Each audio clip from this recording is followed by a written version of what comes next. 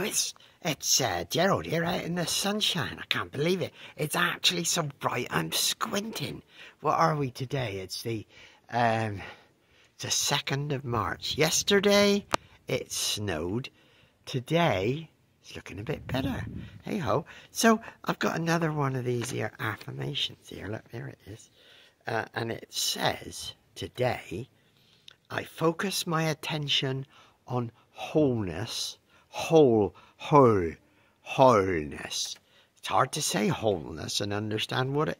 It's like, is it a whole? No, it's a W H, whole, whole, wholeness. Anyway, I focus my attention on it and welcome it into my life.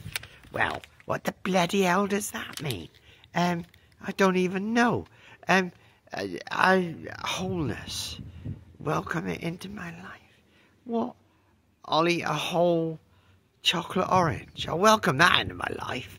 That's probably what I'll do today. So, in welcoming the wholeness, I'll keep this brief today. I'm going to have a whole chocolate orange. And then maybe tomorrow, what can I have a whole thing of? Another chocolate orange. There we go. All right.